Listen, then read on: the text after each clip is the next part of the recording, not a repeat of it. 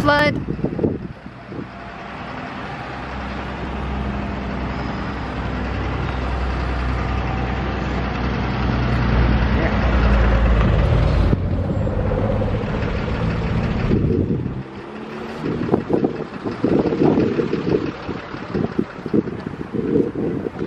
Don't fall in the river.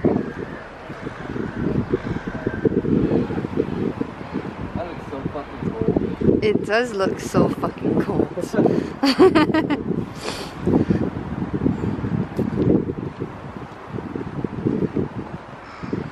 These bridges though, they looked really sturdy.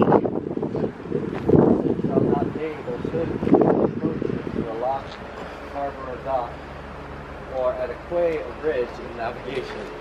Contravention of carries a maximum fine of 5,000 pounds. I know that. Euros. Oh, yeah, euros. No, those are pounds. I thought pounds was I know, but the, that looks like the symbol for pounds.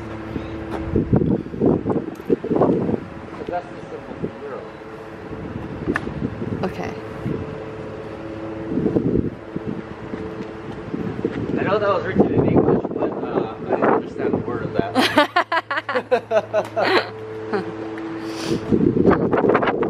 we don't understand English apparently.